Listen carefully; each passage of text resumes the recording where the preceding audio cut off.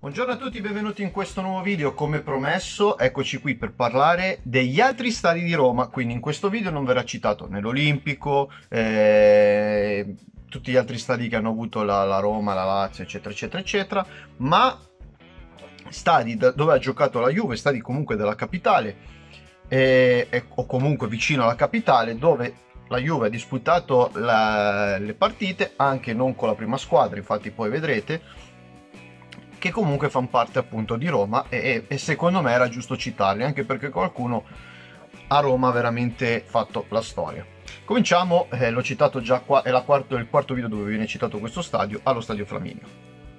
Lo Stadio Flaminio, inutilizzato da Roma e Lazio se non nella stagione 89-90 per via della ristrutturazione dello Stadio Olimpico, vede comunque una partita della Juve in campo neutro in Coppa Italia nel 63, Juve Foggia 2-1 le reti di Zigoni e Anastasi.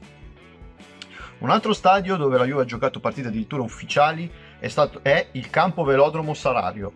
Il Velodromo Salario dove la Juventus ha giocato addirittura una partita di Serie A contro l'Alba Roma ancora prima della fondazione della S Roma e la Juventus in questo girone vinse 2-0 con le reti di Barale e Munerati.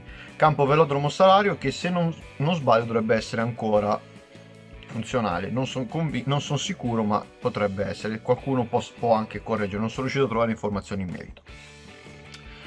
Adesso veniamo a un altro, un altro impianto, l'impianto dello stadio tre, delle Tre Fontane. Lo stadio Tre Fontane è bellissimo, mi piace tantissimo, viene utilizzato dalla Roma da tantissimi anni come stadio per quanto riguarda la formazione primavera, negli ultimi due anni è diventato lo stadio anche della squadra femminile della, della S Roma. La prima vittoria che sono riuscito a documentare è una rete di Jakupovic che permette alla Juve di vincere appunto al Tre Fontane contro la Roma 1-0 e qualificarsi così eh, alla fase finale del campionato primavera. Poi ci vinse anche la Women, ci ha già vinto due volte, tutte e due le volte per 4-0, quindi sicuramente uno stadio che alla Juve, alla Juve evoca buoni ricordi. Ma prima che si formasse la, la, S Roma femminile, a Roma c'era una squadra femminile, che c'è ancora, ma adesso milita in categoria inferiore, la Res Roma, e, e la, Roma, la Res Roma giocava all'Unicusano Stadium. All'Unicusano Stadium la Juve ha un solo precedente, è una vittoria di 1-0 con le reti di Isaacsen, proprio contro la Res Roma che poi diventò l'anno dopo eh, vend- vendette la licenza eh, per la Serie A alla S Roma e appunto poi da lì eh, c'è la Roma che conosciamo. Comunque la prima partita vinta in questo stadio è appunto contro la Res Roma con la rete di Isaacsen, poi la, la S Roma femminile appunto come ho detto passò al, al Tre Fontane. Un altro campo dove si è giocata una partita del campionato primavera è il velodromo olimpico, costruito negli anni 60, una delle prime edizioni del campionato primavera abbiamo, abbiamo un Roma-Juventus 1-0 per la Juve, non si conosce il marcatore, ma comunque la Juve giocò in questo stadio, stadio che adesso non c'è più, ma che allora fu costruito appunto per le Olimpiadi 1960. Rimaniamo in tema primavera, centro sportivo Bernardini, Trigoria.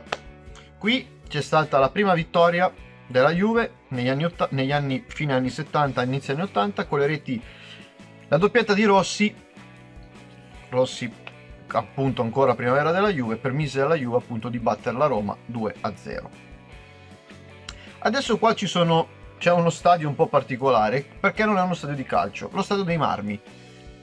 Nessuna squadra ha mai giocato nello stadio dei Marmi, ma la Juve, dopo una partita negli anni 30 contro ehm, appunto la S Roma e per anche inaugurare so, l, l, il foro italico che eh, Mussolini creò allora all'epoca del fascismo, si fece un amichevole contro la Romulea, squadra che ancora tuttora è presente nel territorio romano, e la Juve vinse 3-0 questa sgambata con le due reti di Borel e il gol di Orsi. La Romulea si tro- creò un rapporto con la Juve di piacere, l'anno, prossimo, l'anno dopo invitò la Juve a fare un'altra amichevole, però stavolta nel loro campo, il campo Roma. Al campo Roma la Juve si impose 1-0 con le reti di Ferrari. Veniamo invece adesso all'altra sponda di Roma per due, per due stadi diciamo di settore giovanili.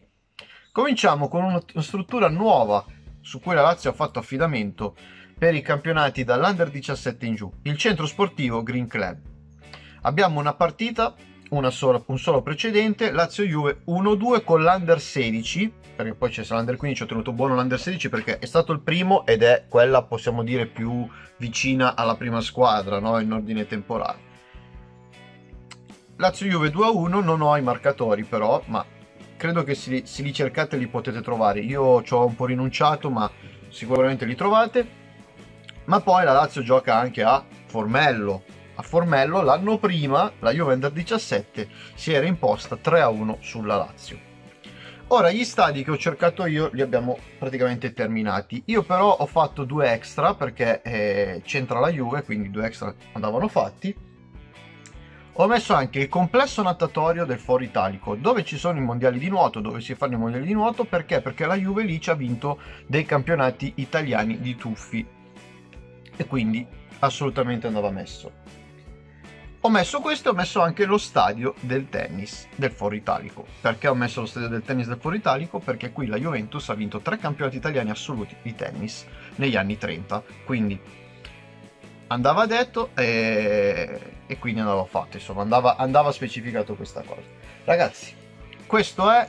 Io spero che questo video vi sia piaciuto. A me non resta che salutarvi e darvi appuntamento per i prossimi video del canale. Ciao a tutti.